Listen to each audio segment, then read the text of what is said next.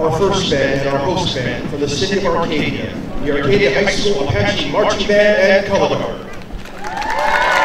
Under the direction of Kevin Sherrill and Tom Fletcher, military drum major Zoe Xiao, Color Guard captains Leanne Chu, Hannah Braffman, Avia Ramji, and Keely uh, Sun. Color Guard advisors Anthony Garcia, Jose Queen, and Carrie. Band instructors Sean France, Luis Cardenas Casillas, Robert Todd. The Arcadia High School Marching Band Color Guard performed throughout Southern California for the past 70 years. The acclaimed group has performed the presidential inaugural parade two times, the Pasadena Turban Roses Parade 17 times, the Pearl Harbor Memorial Parade, and has appeared at the Alamo Bowl, Gator Bowl, and Outback Bowl. The band Color Guard would like to thank the Arcadia Music Club and alumni for their continuous support and encouragement. They'll be marching to The Boys of the Old Brigade by Chambers. Please welcome the Arcadia High School Apache Marching Band and Color Guard.